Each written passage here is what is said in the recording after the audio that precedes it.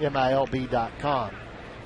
We'll get back to that in a second as Mejia settles in now. Here's a line drive right center field. That's going to bring in a couple of runs. Is it deep? Oh, it is deep. It's right off the wall. Here comes the speedy La Stella around. Here's the throw. Here's the play at the plate. He is out of there.